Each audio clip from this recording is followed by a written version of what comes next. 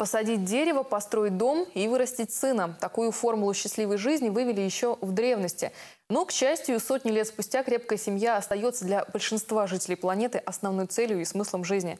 А что делает семью еще крепче? Конечно же, дети. Появление которых, кстати, не только радость, но и к тому же и большая ответственность. Поэтому в помощь молодым папам и мамам прямо в роддоме будут выдавать специальные инструкции. Не по применению, конечно, а по воспитанию и уходам за малышом. Такую акцию некоммерческая организация «Союз женщин России» проводит по всей стране. А сегодня пособие новоиспеченным родителям начали раздавать и в Томске. Первым на очереди оказался роддом имени Симашко. Руководство к родительским действиям изучала и наша съемочная группа. Это только в стихах говорится, что мамы всякие нужны. А на самом деле мамы нужны хорошие, потому что профессия – это сложная. Даже сложнее, чем у президента. Ведь женщина не просто все 9 месяцев вынашивает свое чадо. Она всю жизнь его оберегает. Двое и более ребятишек в семье – такая мама уже может считаться профессионалом. А вот если на подходе лишь первенец, то без руководства к действию молодой маме не обойтись.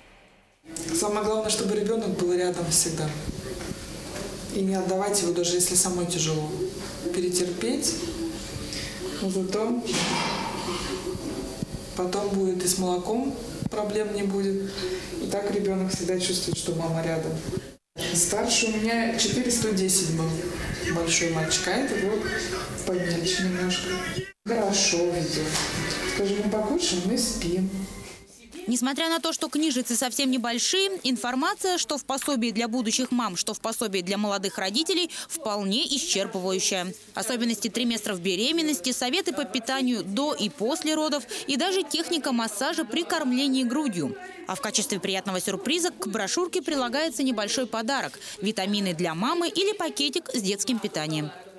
Союз женщин России сделали вместе с э, Московским э, медицинским университетом, э, сделали такую подборку, ну, материал, книжечка, брошюрка, где рекомендации сделаны, определенные советы молодым родителям.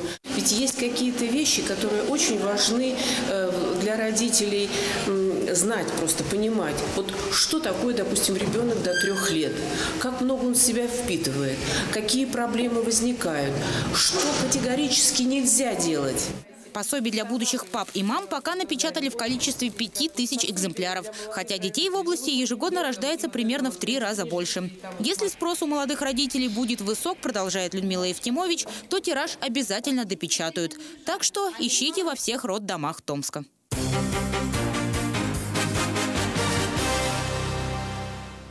Дежурный на вызове продолжает программу. В этот раз наши корреспонденты вы